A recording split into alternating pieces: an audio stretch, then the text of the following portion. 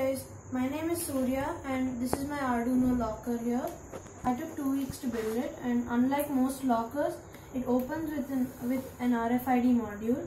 RFID is the thing used in offices to open doors, like you swipe a card and it opens. So, this is all the views. This is how it looks from the back. I just put these dots with sketch pens to make it look good. I stuck sheets of paper with tape and made it sturdy through ice cream sticks I stuck at the bottom and in, inside. So now these two are the tags. I'm going to use this one as the correct one and this one as the wrong one.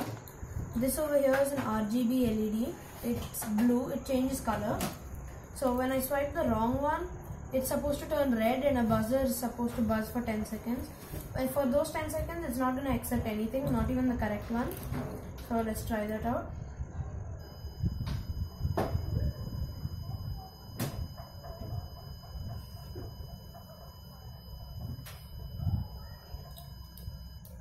Yeah, it turned blue again, which means it's ready. Now I'm gonna swipe the correct one.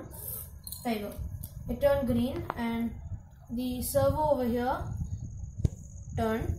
I'm just gonna lock it once so you understand how it works. There you go. See, it closes that latch. It closes against this so that it does not open over here.